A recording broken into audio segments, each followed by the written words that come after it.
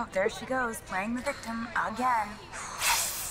The world premiere of Taylor Swift's music video for Look What You Made Me Do featured Taylor Swift starring as Taylor Swift dragging Taylor Swift, and we're totally here for it. BRB, channeling my inner zombie Taylor because I'm literally dead. Well, it is safe to say that cat is officially out of the bag and Taylor Swift has been made well aware of every little thing she's ever been dragged for since the beginning of her entire career but we can't say that she didn't warn us about rising from the dead. The role you made me play of the fool.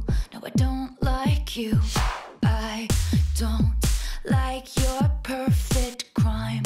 How you laugh when you lie. The video's director, Joseph Kahn, takes us down a very dark trip through memory lane, revisiting all bidding adieu to all the old Taylors during some of her most iconic career moments, including You Belong With Me, Shake It Off, and the Kanye West VMA debacle that first started it all.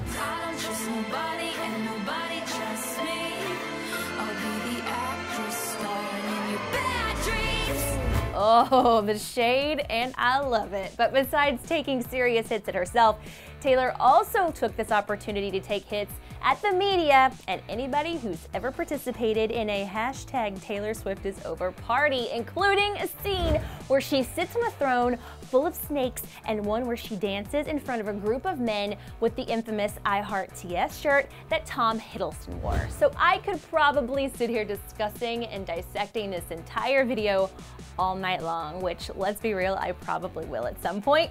But perhaps the best part of the entire video that has everybody talking was the very end where Taylor brings back every iteration of herself as each of the Taylors are bickering at one another for playing the victim, making her surprised award show face, saving receipts, and even her own words that ended up backfiring against her, Kim Kardashian, being excluded from this narrative. Oh, there she goes, playing the victim again.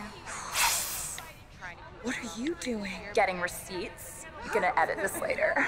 Uh, I, I would very much like to be excluded from this narrative.